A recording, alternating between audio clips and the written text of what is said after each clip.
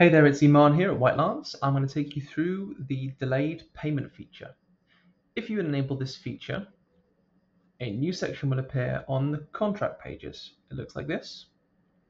It says, it's a tick box, and it says, should payments for the job be delayed? And you can put in a number of days. Here we've put in two, but equally you could change it to three or four or any specific number. Now, uh, if you do change it, you just press save, and then that's saved. Uh, in my case, I'm saying two, so nothing needs to be saved. Now, when any payment is due to be taken, whatever this saved field says will apply to that milestone.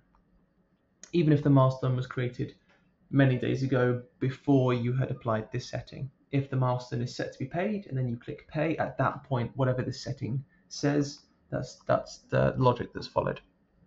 So I've changed this, I've added this um, delayed payment now, and I've got a milestone here, and I'm going to go and pay for it now.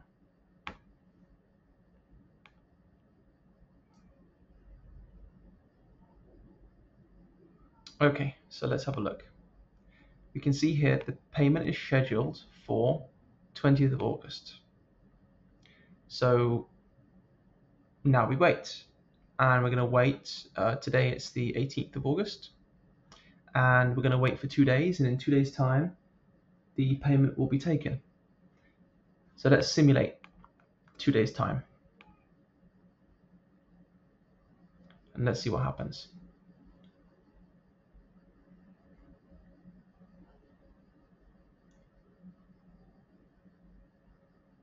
Okay that should be done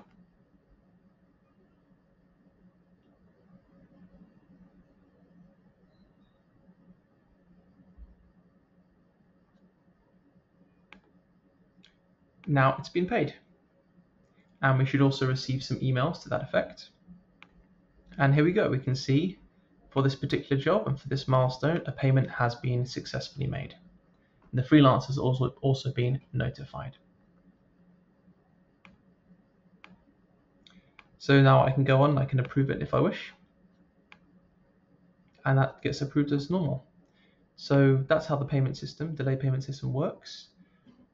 Currently, it applies to single milestones and single fixed milestones, which is every month, and we're shortly applying it to uh, recurring milestones too.